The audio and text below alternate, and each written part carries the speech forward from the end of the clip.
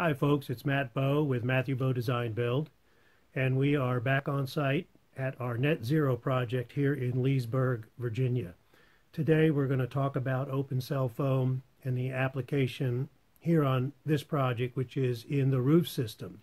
You can see over my head um, that the foam has been installed. Open cell foam is a wonderful insulator. Um, and even more importantly, and I've spoken about it in a few previous videos, is that it is an air barrier. So one of our key goals in this house has been to make this house very, very tight, to really reduce air leakage.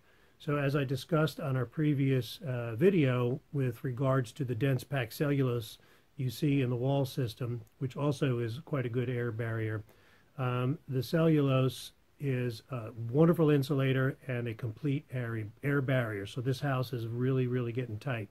We're going to talk about the uh, air tightness of this house in the next video when we visit the blower door and blower duct testing that we did on this home to measure air leakage.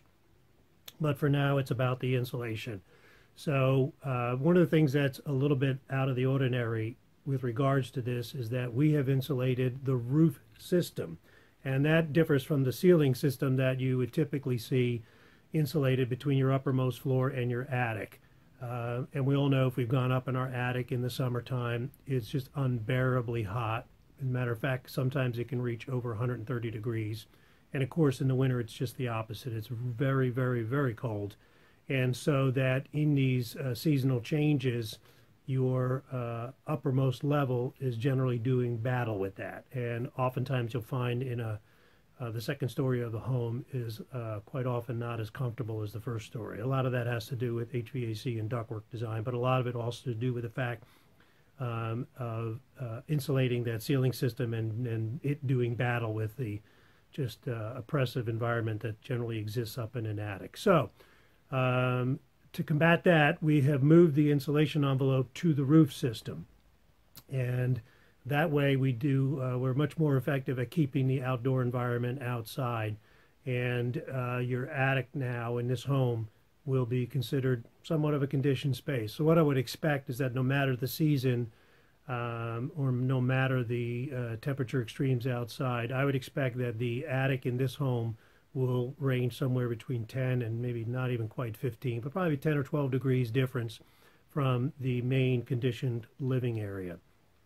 The great benefit of that also is that we happen to be running ductwork. Oftentimes you can use that area to install uh, your some HVAC equipment. We happen not to be doing that on this project, but we are running ductwork through that attic. So you can imagine the benefits of running that ductwork through a conditioned space as opposed to running it, you know, through a, an area that's 130 degrees in the uh, summertime and you're trying to run cool cold air through ducts to deliver it to different parts of your house. So we have that great benefit as well. So we're going to stop here for a moment and take a look at some video of that insulation being installed. One thing to take note, watch when it goes on. It actually goes on in quite a thin layer, almost like a paint. But if you watch it, you can see how it foams up.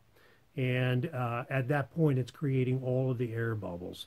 So this product, as it sets up, you know, the reaction uh, creates all of these uh, air bubbles, and the air bubbles is where you get your insulating um, uh, properties from, from this product. So let's take a look.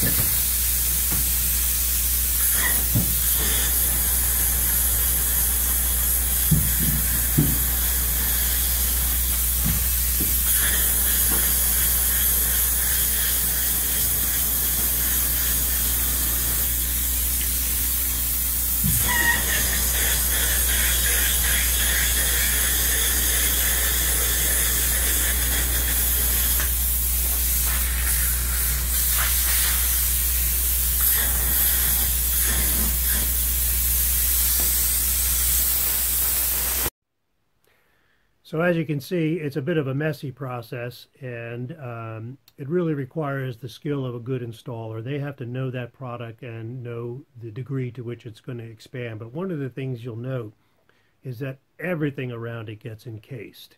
So this is where we get the air sealing properties. It expands tight from framing member to framing member. It expands in, uh, around any uh, plumbing vents we have going through the roof. It expands around any uh, openings going through the sidewall for bath fan exhausts or dryer exhausts.